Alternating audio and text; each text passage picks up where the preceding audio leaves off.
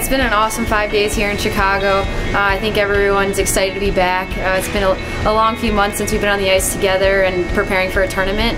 Um, you know, we've had an awesome time getting to know our staff, uh, learning some some new language, some new plays, um, and just getting ready for the Four Nations Cup you know, seeing the younger players uh, mesh with our older veterans, our Olympians uh, in the first four days, and now having the college women join us um, kind of brings a new uh, dynamic to the whole group. It's it's so important for those U18 players to be here. I remember being in their shoes um, over 10 years ago and uh, just really looking up to the older players, seeing how they approach their day in and day out routines and really learning from those routines and seeing what I need to do to be in their shoes one day. So uh, that's the future of our program and for them to be here, it's super important. Um, with the new coaching staff and especially being in Chicago, uh, warm welcome from the Blackhawks. It's been great. Um, getting to be on the ice with some of the best girls in the world is, is always fun. Uh, we prepare so long for, for two major tournaments usually, so uh, to have everyone here getting ready to go to Saskatoon is exciting. I think the biggest thing we're trying to instill is uh, puck management. You know, the way we take care of the puck through the neutral zone. Uh, we want to play an aggressive forechecking style, get in on their defensemen and cause turnovers.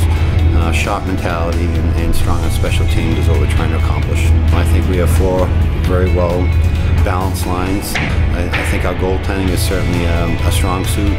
I think our defensemen are very mobile and move the puck well. Um, I just think it's a very well balanced team and um, one that's